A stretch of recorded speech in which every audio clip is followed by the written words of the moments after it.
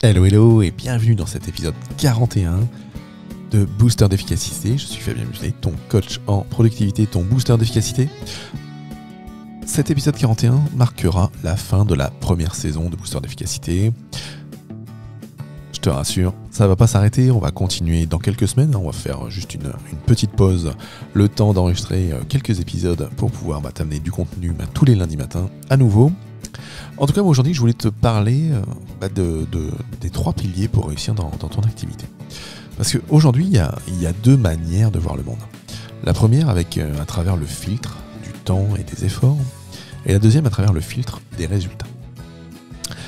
La plupart des gens préfèrent euh, la sécurité d'un salaire régulier face au, risque d'entreprendre, et c'est là où ils se retrouvent justement bah, dans cet aspect filtre du temps et des efforts.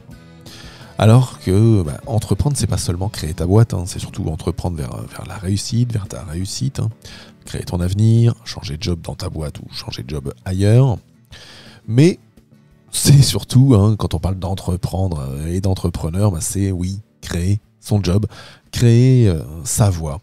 Et en devenant entrepreneur, bah, tu arrives sur, euh, sur la voie, donc cette voie des résultats, parce que bah, t'as pas vraiment de, revenus salariés, hein, de, revenus euh, périodiques et constants, hein, comme si tu étais. Et surtout, bah, c'est toi qui, crée euh, les opportunités bah, de, de créer par toi-même et de créer pour toi-même.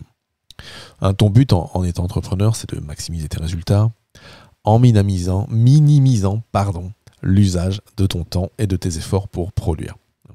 Si tu as besoin, pour maximiser tes résultats, de maximiser l'usage de ton temps, eh bien, l'entrepreneuriat n'est pas la bonne solution. Alors bien sûr, ton organisation, elle devra être construite, hein, parce que euh, dès lors qu'on est euh, entrepreneur, hein, euh, tu pourrais te retrouver très vite dans les travers de, ton ancien job salarié. Et tu pourrais te retrouver bah, dans les problèmes classiques de la gestion du temps. hein. Et surtout, tu ne vas pas te créer un job au lieu de te créer une activité. Quand tu, deviens entrepreneur, c'est pour vivre d'une activité, prendre euh, du plaisir. Et c'est pas pour te recréer un carcan, euh, un job, et te retrouver avec les mêmes problématiques euh, de, gestion de ton temps, les mêmes problématiques qu'en étant salarié. Hein, ces problématiques classiques, hein, quand, quand un jour ressemble aux autres, hein, tu te lèves le, le mardi, tu dis tiens, je vais refaire comme hier lundi, puis demain je referai pareil.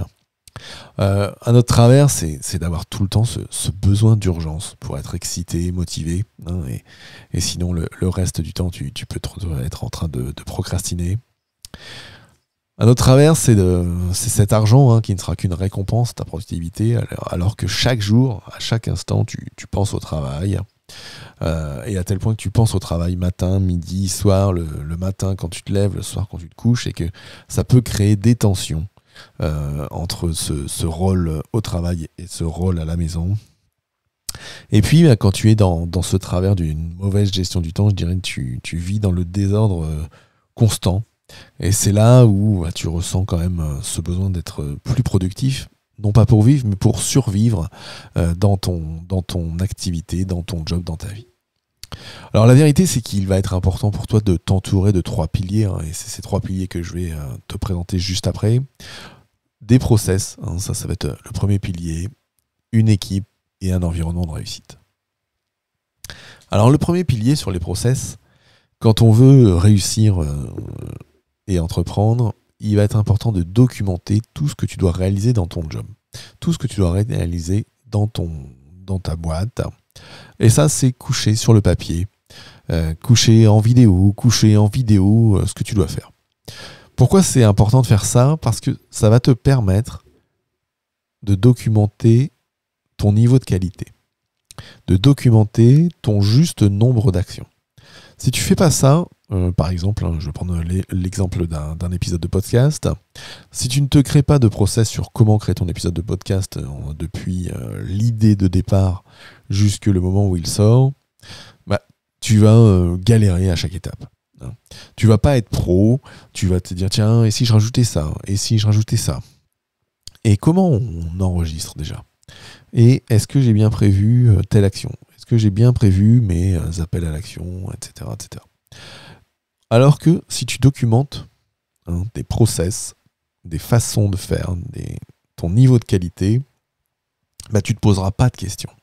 Tu vas arriver, euh, entre guillemets, face à ta feuille blanche, tu vas noter ton titre, tu vas ensuite euh, te rappeler, te lire sur ton process que tu dois préparer une structure, préparer des idées, coucher tel item, etc., etc. Et ça jusqu'à euh, et ça jusqu'à arriver à, à la fin, là voilà, l'enregistrement, le dépôt sur ta plateforme, etc.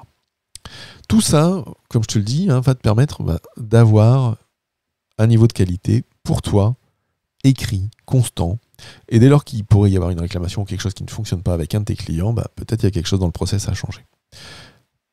Là où ça va être super important, bah, c'est ce qu'on va rejoindre le deuxième, deuxième pilier, une équipe. Hein, donc de t'entourer de personnes pour réaliser des tâches dans ton entreprise. Hein. Le but va être là aussi de, t'extirper du quotidien L'équipe, elle va, là, va être là pour travailler euh, pour toi hein, sur les tâches où tu as le moins de valeur ajoutée, les tâches qui t'ennuient, les tâches qui, sur lesquelles tu n'es pas dans ta zone de génie, les tâches sur lesquelles tu n'es pas dans ta zone d'excellence, et surtout les tâches pour lesquelles tu n'es pas dans ta zone de fun.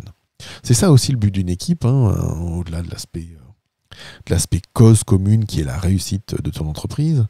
Le but d'avoir une équipe pour toi en tant qu'entrepreneur ou en tant que manager, ben, c'est que tu travailles là où tu es bon, là où ça te fait plaisir. Et c'est là où tes process, qu'on a pu voir dans le premier pilier, ben, vont être importants parce que ces process, une fois que tu les as écrits quand tu es tout seul dans ton entreprise, ben, une fois qu'il y a des gens, tu peux leur confier des tâches dans les process. Tu peux faire en sorte que une clôture comptable, eh bien, ton, euh, assistante euh, virtuelle prenne en charge la moitié des étapes et qu'il ne te reste plus que la concaténation à la fin si je reprends l'exemple de l'épisode de podcast, tu as les idées, tu fais ton enregistrement, et puis bah, dans la suite du process euh, de faire le montage, tu peux peut-être le confier à quelqu'un. De pouvoir faire le dépôt et la création des posts sur les réseaux sociaux, tu peux le confier à ton assistant virtuel ou à un community manager. Bref, tout ce que tu auras noté sera utilisé et utilisable pour l'équipe. Et du coup, ton équipe, entre process et équipe, ton équipe fera exactement la même chose que tu le faisais quand tu étais tout seul. Et donc du coup, tu maintiendras un niveau de qualité super important pour tous ensemble. Donc ça, c'était le pilier 2, l'équipe. Le troisième pilier euh, qui est super important euh, quand, on est, euh, entrepreneur, et ça fonctionne aussi pour les managers, c'est l'environnement. On traverse en tant que professionnel des épreuves. On va souvent être en proie au doute parce que on se retrouve seul aux manettes. Hein. Euh, quand euh, dans mes jobs de manager, euh, que ce soit chez Vinci ou dans le groupe EDF, hein, il y a des moments où on se retrouve seul dans son bureau face à ses difficultés. Parce qu'il y a une problématique dans l'équipe, parce qu'il y a des résultats qui ne sont pas là. Et quand on est entrepreneur, bah, c'est la même chose. On se retrouve à son bureau tout seul, enfin, surtout quand on est solopreneur. On se retrouve à son bureau tout seul et puis on se dit bah, tiens, j'ai des clients, j'ai pas de clients, qu'est-ce qu'il faut faire pour ça? On a forcément des jobs spécifiques, il faut de l'environnement spécifique, mais on arrivera toujours, on peut trouver des gens qui traversent justement toutes ces mêmes épreuves. Et c'est là où il ne faut pas, entre guillemets, avoir honte, quand on croise des gens du même métier, bah, d'échanger sur ces problématiques. Alors quand tu es, euh, il, y a plusieurs types d'environnements hein, qui peuvent être à, ta disposition. Par exemple, il y a des, euh, il y a des confédérations d'entrepreneurs, hein, telles que la CPME par exemple, hein, euh, qui organise par exemple des, des after-work, qui te permettent euh, bah, d'aller faire du réseautage, puis d'échanger, et puis par là même peut-être euh, de trouver des, partenaires ou des clients. Mais en tout cas, ces after-work sont des bons moments pour trouver des gens qui ont les mêmes difficultés que toi. Ensuite, alors, tu peux trouver plein de choses, hein, des groupes de discussion. Alors, ça sur Facebook, LinkedIn, Clubhouse, tu peux trouver pas mal de choses. Et puis après, bah, tu as, euh, par exemple, dans mon, dans mon univers Booster d'efficacité, tu as la communauté euh, Booster et puis, euh, puis l'académie Booster Pro pour ceux, pour ceux et celles qui veulent aller plus loin, auquel tu peux, alors, si tu veux venir nous rejoindre et, échanger sur tes problématiques liées à, ta gestion du temps, à ton organisation, à faire en sorte que tes projets avancent hein, et, et qu'on t'aide et que je t'aide aussi personnellement grâce à à deux leviers puissants euh, d'organisation que sont la productivité et le management, bah, il te suffit de te rendre sur fabien.coach. Et là, bah, tu verras, alors on est, euh, on est au début, hein, euh, les gens arrivent progressivement après, après chaque épisode ou après chaque, chaque newsletter. Et c'est vraiment un lieu d'échange entre pairs, un lieu d'échange entre personnes qui ont des difficultés et des réussites, parce que bah, c'est toujours dans cette notion d'environnement de groupe, d'environnement qui traverse, euh, d'environnement de personnes qui traversent les mêmes euh, problématiques. Problématique de, gestion du temps, problématique de procrastination, problématique de quelqu'un dans l'équipe qui, euh, qui ne travaille pas bien, problématique de, de, de, soucis avec un client, problématique de, par exemple, de Calliope, j'en passe et des meilleurs, bref. Et en étant bah, dans cet environnement, bah, tu te retrouves, comme je disais, avec des gens, tu peux échanger avec eux, tu peux te nourrir, tu peux du coup avoir un feedback du groupe, tu peux te retrouver à toi-même conseiller des autres, et c'est là où tout le monde grandit. Donc ça, c'était euh, les trois piliers euh, pour te permettre bah, de, réussir dans ton activité, hein, entre ce premier pilier qui est les process, donc de documenter tout ce que tu dois réaliser dans ton job pour pouvoir euh, te mettre en mode robot et surtout assurer un niveau de qualité toujours identique du 1er janvier au 31 décembre.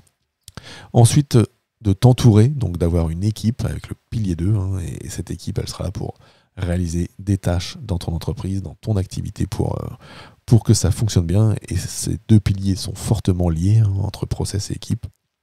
Et puis bah, ce troisième pilier qui est l'environnement, l'environnement de réussite parce qu'on traverse toujours des épreuves, des moments de doute, qu'on a besoin de s'enrichir et que quand on est tout seul dans son job ou à la tête de son entreprise ou à la tête de son service, bah, d'avoir des échanges avec des pairs, ça nous permet de nous extirper du quotidien et de profiter de l'intelligence collective.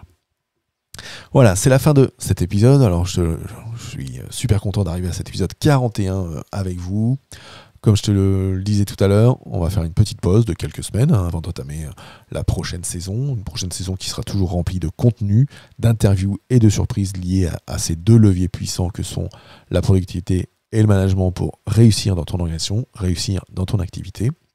En attendant, quelque chose qui va continuer, bah, euh, c'est cette communauté dont je viens de parler, et surtout cette newsletter hein, à laquelle tu peux t'inscrire en te rendant sur fabien.coach newsletter. Tu recevras du coup chaque lundi matin un tips, une astuce, une méthode, euh, une réflexion, un bouquin, une vidéo, bref, toujours un contenu lié à l'organisation et qui te permettra de progresser pour toi en toi dans ton activité. J'irai pour pas rester esclave de ton job, pour ne pas te créer, euh, comme je te le disais tout à l'heure, euh, un nouveau job en étant entrepreneur, mais en te créant une activité et en te créant l'activité qui te permettra d'être épanoui. Voilà, je te souhaite et je vous souhaite à tous une super semaine et je vous dis bah, à très vite pour euh, la prochaine saison de Booster d'efficacité. Allez, ciao ciao